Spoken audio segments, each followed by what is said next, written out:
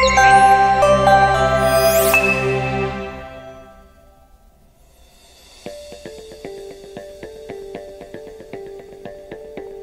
introduction to GPC in 30 minutes.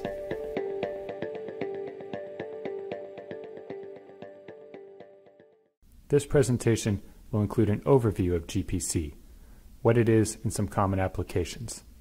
Then we'll explore chromatography, the analytical technique that provides the foundation for GPC. Next, we'll look at the detectors, which are the devices that allow the users to see and observe the sample as it is analyzed. After that, we'll examine how that raw data is processed into molecular weight and many other types of characterization data that make GPC such a popular analytical tool, and then we'll wrap things up. First, let's start with an overview of GPC. GPC stands for Gel Permeation Chromatography. GPC is a type of size exclusion chromatography, often abbreviated SEC. While GPC refers to a specific type of SEC, the two are very similar and are often used interchangeably, as GPC is the most common type of SEC. GPC SEC describes an analytical technique that is used to characterize macromolecules, providing data such as molecular weight, intrinsic viscosity, and hydrodynamic radius. These traits often affect the physical properties of the material and or the behavior of the particular compound, and are of great interest to researchers, production plants, and manufacturers. Examples of materials frequently analyzed by GPC are natural polymers such as dextran, chitosan, and cellulose, synthetic polymers including polystyrene, polyethylene terephthalate, and nylon, and proteins such as oligopeptides, antibodies, and membrane proteins. So what is chromatography? The C in both GPC and SEC stands for chromatography, which refers to a set of laboratory techniques involving the separation of mixtures. Chromatography involves passing a mixture carried by a mobile phase through a stationary phase, which separates the constituents of the mixture based on differential partitioning between the mobile and stationary phases. In the animation at the bottom, a mobile phase is shown passing through the stationary phase, which is usually located in a column. If we take a sample mixture and load it onto the column, the mobile phase will begin to move the sample mixture components through the stationary phase. The sample mixture components will travel through the stationary phase at different rates based on molecular differences between the individual components. This means the individual components exit the stationary phase at different times, providing a separation of the mixture. So, what's unique about GPC and SEC? Size exclusion chromatography describes a class of chromatography that, as the name suggests, separates analytes based on their size. SEC is a solution based technique which means it uses a liquid as the mobile phase to carry the analytes through the chromatography column. As the mixture of analytes travels through the stationary phase of the column, the sample components are separated according to molecular size, with larger molecules eluting first. It is important to remember that separation is based on hydrodynamic size, not molecular weight. So now we know that GPC separates molecules based on size, but how does it work?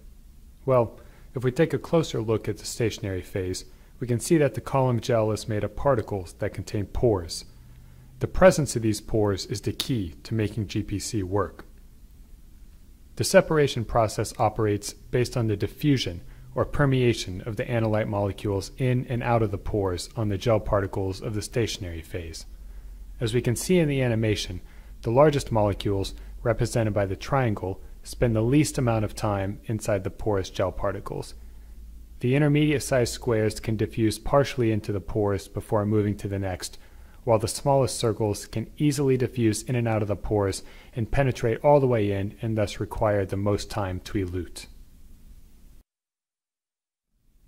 Think of it like a bag of potato chips. When you open a brand new bag, the large chips are located at the top because they can't fit through the spaces to fall to the bottom. However, by the time you get to the end of the bag, you're left with all the broken chips and crumbs that can fit through the spaces and have gathered at the bottom. These crumbs are the same as the smallest components of your sample, like the circles shown here, which spend the most time within the spaces and pores and elute last from the column.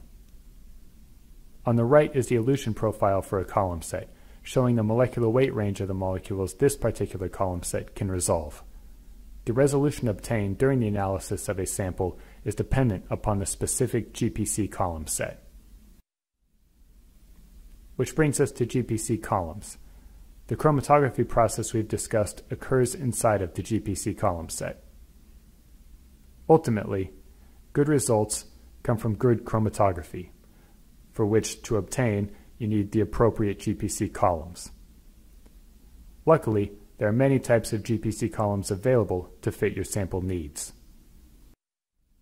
Some common factors to take into consideration when choosing a GPC column set include mobile phase compatibility, which is generally the primary concern, molecular size and molecular weight range, compatibility with your sample or functional groups present on your sample, or alternately, what is the chemical identity of the column gel, and how many columns of which type do you want to use, multiple columns of the same type to increase resolution, or columns in consecutive molecular weight ranges in order to expand the resolution range.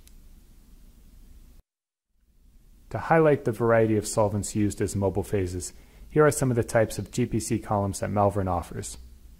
T columns for THF or other organic mobile phases such as DMF, chloroform, and hexafluoroisopropanol. A columns for the analysis of general aqueous polymers in a variety of aqueous mobile phases. P columns for the analysis of proteins in aqueous mobile phases. High temperature GPC columns for analysis at elevated temperatures. And specialty columns such as I columns, which contain an inert stationary phase that prevents sample adhesion, and cationic columns, which have a cationic stationary phase in order to repel cationic samples. Shown here is a schematic for a complete GPC system. The columns and chromatography process we described are located in the center of the image. The system components in line prior to the columns are necessary parts that keep the system running, such as a mobile phase reservoir, a vacuum degasser to remove air from the mobile phase, the pump to maintain mobile phase flow, and the injection loop with optional autosampler that introduces a sample mixture onto the column set. So, now that we've injected our sample and used chromatography to separate our mixture, we need a way to observe the individual components present.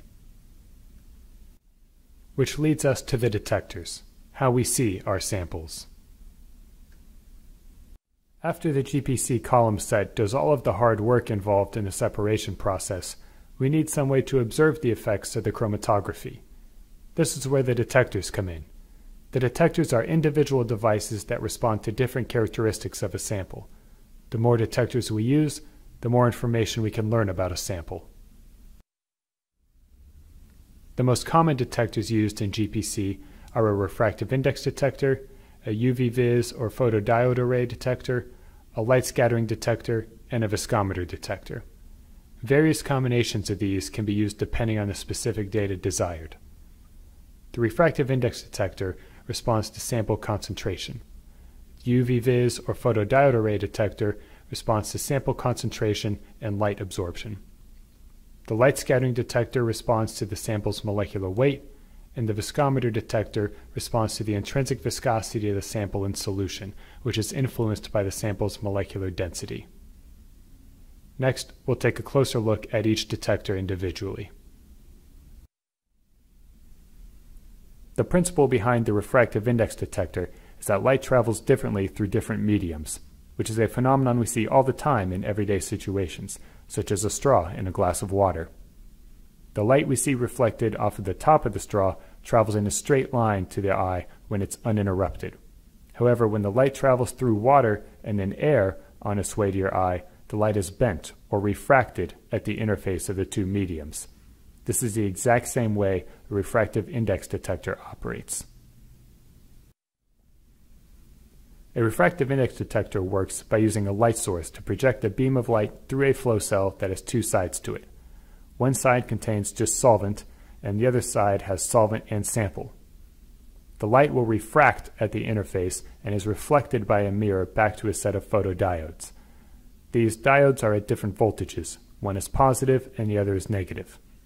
Depending on whether the sample refracts the light more or less than the solvent, the light will move more onto the positive or negative diode, giving either a positive or a negative peak. The amplitude of the signal corresponds to the concentration of the sample, as well as the material's DNDC value. The DNDC value, or refractive index increment, shown in the equation on the left, is a term that correlates the refractive index response to sample concentration and is a unique value for a given sample and mobile phase pairing.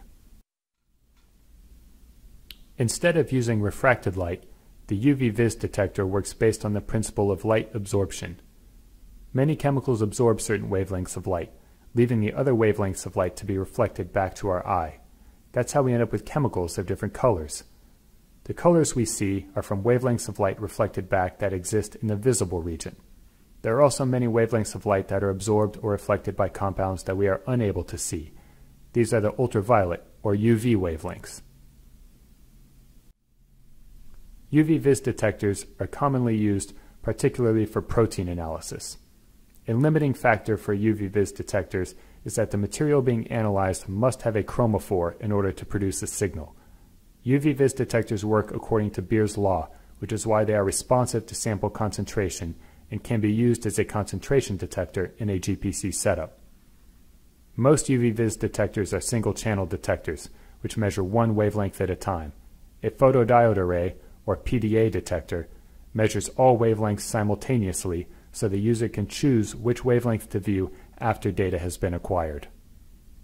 It is important to note that when working with UV-Vis detectors, the DADC term relates the signal response to sample concentration, just as the DNDC value does for refractive index detectors.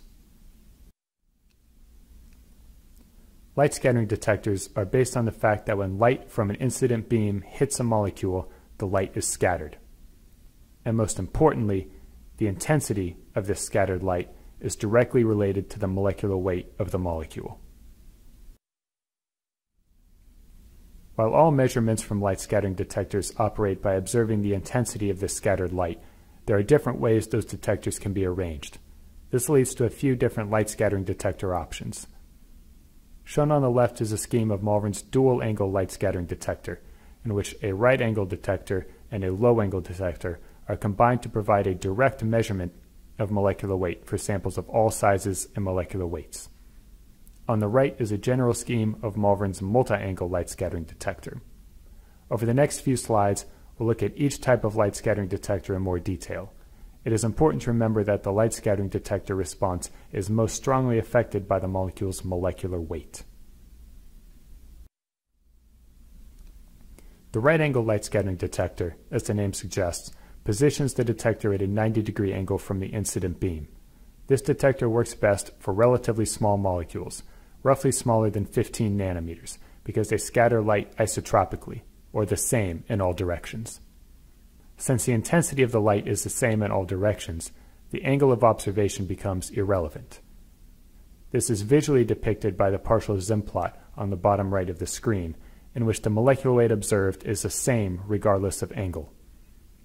This consistency means that the molecular weight of a molecule can be determined directly by observing the intensity of the scattered light at any angle. Therefore, the right angle light scattering detector is optimal in this case because it provides the least amount of baseline noise as a result of its orthogonal placement relative to the incident light beam, thus providing the best signal-to-noise ratio. The low-angle light scattering detector positions the detector at a 7 degree angle from the incident beam. This location is important because when molecules do not scatter light isotropically, meaning that there is an angular dependence on the intensity of scattered light, then the intensity of scattered light observed at the zero angle is the most accurate measurement of molecular weight. Of course, having a detector at the zero angle is not practical, as the detector would observe the full blast of the incident beam.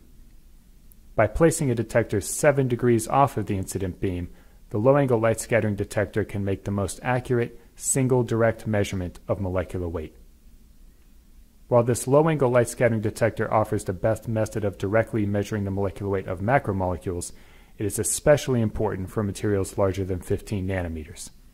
This is because those relatively large molecules do not scatter light the same in all directions due to constructive and destructive interference. Since the intensity of scattered light observed depends on the angle of observation, as shown in the partial Zimm plot on the bottom right of the screen, it is critical to observe the scattered light as close to the zero angle as possible. Another method of determining molecular weight from light scattering measurements involves the use of a multi-angle light scattering detector. Previously, we discussed how not all molecules are isotropic scatterers, and therefore the intensity of scattered light is not always the same at every observation angle. The low-angle light scattering detector obtains accurate molecular weight by observing the light scattered as closely to the zero angle as possible. An alternate method is to observe the light scattered at numerous angles, hence the name multi-angle light scattering, and then use the partial Zimm plot to extrapolate back to the zero angle to determine molecular weight. The principle behind the viscometer detector is that a solution containing dissolved macromolecules will be more viscous than the solvent by itself. Comparisons of the two lead to a variety of viscosity values, including intrinsic viscosity. The four capillary viscometer allows the intrinsic viscosity of a sample solution to be measured directly. This is done by observing the differential pressure, delta P or dP, and the inlet pressure, or IP. Those two pressure measurements allow for the specific viscosity of the sample solution to be obtained. Intrinsic viscosity is the specific viscosity of a sample solution at infinite dilution and is usually determined by obtaining the specific viscosity at varying concentrations and extrapolating back to zero concentration. However, since the concentration of the sample solution in GPC is very low, it is close enough to zero concentration that the specific viscosity determined is essentially the intrinsic viscosity of the sample. Here is an animation of what happens in the viscometer as a sample passes through. Initially, there's only mobile phase in all capillaries, which provides a baseline reading and a differential pressure of zero. When the sample is introduced, it is split between the positive and negative sides of the viscometer bridge. The negative side of the viscometer bridge, shown here as the top half, contains a delay reservoir, which holds the sample and allows the solution pressure of the sample in the positive side of the viscometer to be compared to that of the solvent on the negative side of the viscometer. This creates the positive peak in the dP signal, which corresponds to the sample. The sample elutes, and the viscometer signal returns to baseline until the sample that has been held in the delay reservoir finally begins to elute. Because this increased pressure is now on the negative side of the viscometer, a negative peak begins to form in the dP signal. Once the sample elutes from the delay reservoir, the viscometer bridge now contains only a mobile phase and the dP signal of the viscometer returns to baseline. This slide provides the equations that dictate the response of each detector. All detectors are affected by the amount of analyte present, which is represented by the concentration and injection volume terms in each equation. The K term in each equation are the individual detector constants, and as such are not sample dependent. This leaves the underlying term in each equation, which is the parameter that most strongly affects each detector's response. The concentration detectors, the refractive index and UV-Vis or photodiode array detectors, are most sensitive to the DNDC and DADC values, respectively. These terms correlate the sample concentration to the detector response. If a sample has a high DNDC or DADC value, then it is likely that it will provide a strong detector response. For the light scattering detector, there are two key terms the DNDC value, which appears as a squared term in the Zimm equation, and the sample's molecular weight. While both terms certainly have an effect on the resulting signal, as long as there is an adequate DNDC to observe the sample with the refractive index detector, then the light scattering detector signal will respond most strongly to the sample's molecular weight. The viscometer detector responds most strongly to the intrinsic viscosity of the sample solution. If a partic particular sample does not produce a strong viscometer response, that doesn't necessarily mean there's anything wrong with the detector. Small, dense materials do not produce a high intrinsic viscosity, and and would therefore have a much weaker detector signal than a sample of low molecular weight that is well solvated and expanded. So now let's take a look at the analysis methods, or how data is calculated. So now that we have all of that wonderful raw data from the detectors, how do we turn that into meaningful information that helps us characterize our sample? There are three main types of data analysis, and each provides a different level of molecular characterization. The first analysis method we'll discuss is conventional calibration, which involves the use of a concentration detector to build a calibration curve with a series of standards. The sample is then measured against this calibration curve to provide relative molecular weight values. The second analysis method is universal calibration, which uses a concentration detector and a viscometer detector. The addition of the viscometer detector accounts for the difference in molecular size and shape between the standards and the sample. Universal calibration provides intrinsic viscosity and true or accurate molecular weight values. The third analysis method is advanced detection, also known as triple or tetra detection, depending on which detectors are employed. Advanced detection uses a light scattering detector and a viscometer in conjunction with at least one concentration detector in order to provide intrinsic viscosity and absolute molecular weight values. Conventional calibration relies on a single concentration detector, either a refractive index or UV vis or photodiode array detector. Because of this single detector setup, conventional calibration is the most economical GPC analysis method. In order to perform a conventional calibration, a series of well-characterized standards must be run. These standards should cover a wide size and molecular weight range so that the entire breadth of your column resolution range is mapped. Once the molecular weights of the standards have been entered and assigned to the corresponding retention volume, the software will determine the best fit line which will serve as the calibration curve.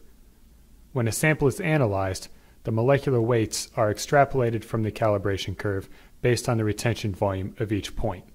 It is important to note that conventional calibration is based entirely on retention volume. Since the molecular weight values obtained through conventional calibration are extrapolated from the calibration curve, the values calculated are relative to the standards used. This is why you'll often see data presented like sample A had a molecular weight of 10,000 Daltons relative to polystyrene standards.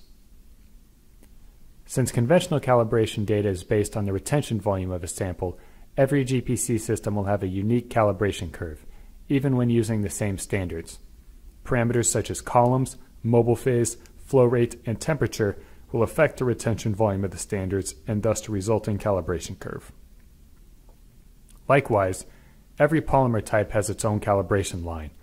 Remember that separation, and thus elution order, is based on hydrodynamic size.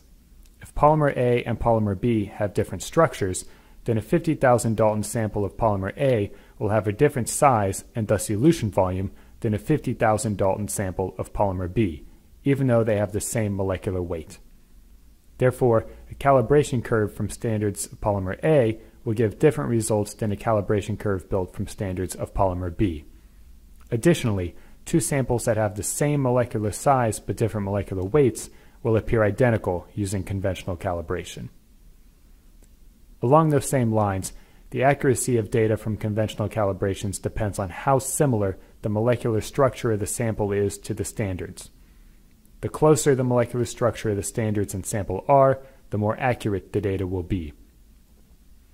And last, the data that's acquired from conventional calibration is limited to molecular weight moments, as shown to the left. Since conventional calibration uses only a single concentration detector, no viscosity, size, or structural information is available. Next, universal calibration uses the combination of a single concentration detector, either a refractive index or a UV-vis photodiode array detector, with the addition of a viscometer detector. The addition of the viscometer detector is important because Back in 1967, Benoit used a relationship between hydrodynamic volume, molecular weight, and intrinsic viscosity to show that the calibration curve for polymers of different types can merge into a single calibration curve. Remember, GPC separates based on molecular size, or hydrodynamic volume. Therefore, if we think of elution volume as essentially being hydrodynamic volume, we can plot molecular weight times intrinsic viscosity against hydrodynamic volume. This means that all polymers, regardless of structure and shape, will fall along the same calibration curve. In addition to providing intrinsic viscosity and the related size information, a universal calibration curve eliminates the need to have standards that are the same as your sample in order to calculate accurate molecular weight data. Since the molecular weight values obtained through universal calibration account for molecular structure and shape, the values calculated are described as true or accurate, regardless of the standards used. Even though the identity of the standards doesn't matter, a calibration curve is still required, and therefore every GPC system will have a unique calibration curve. Parameters such as columns, mobile phase, flow rate, and temperature will still affect the resulting calibration curve. Every polymer falls on the same universal calibration curve, which means that the accuracy of the data is improved from conventional calibration results. And last, the data available includes molecular weight moments, just like conventional calibration, but now has the added benefit of providing intrinsic viscosity, hydrodynamic radius, and Mark-Houwink parameters. Advanced detection, also known as triple or tetra detection, introduces a light scattering detector to the array. This combination of detectors provides complete characterization of your GPC samples. If we revisit this list of equations, you can see that each detector responds to a unique combination of factors, but more importantly, each detector tells us about one different aspect of the sample. So the refractive index detector provides the sample concentration information. The UV-Vis or photodiode array detector allows sample concentration and absorption information to be obtained. The light scattering detector offers a direct measurement of the sample's molecular weight, independent of a column calibration curve, and the viscometer detector measures a sample's viscosity in solution, which is then used to calculate the intrinsic viscosity and hydrodynamic radius of the sample. And as you can see, all the detectors operate simultaneously, providing a wealth of data from a single injection. So advanced detection provides absolute molecular weight values, meaning no calibration curve is necessary. The molecular weight is calculated independently from the light scattering detector. A single narrow standard is used to determine instrument constants and detector offsets. The accuracy of the data is independent on the identity of the standard and each detector tells a different piece of the story. Sample concentration from the RI and UV-Vis or photodiode array detectors, sample viscosity and size information from the viscometer detector, and molecular weight from the light scattering detector. And with advanced detection, there is an incredible amount of data available from a single injection. Molecular weight moments, intrinsic viscosity, hydrodynamic radius, radius of gyration, structural information, concentration, recovery, and potentially absorption profile and compositional analysis. And now to wrap up with some conclusions. So GPC is the most common analytical tool for characterizing natural and synthetic macromolecules, from materials as diverse as plastics and rubbers to proteins and peptides. GPC is a technique that separates the analyte molecules based on molecular size. It is part of a larger class of techniques called size exclusion chromatography. A variety of detector configurations can be used, usually employing some combination of refractive index, UV-Vis or photodiode array, light scattering, and viscometer detectors.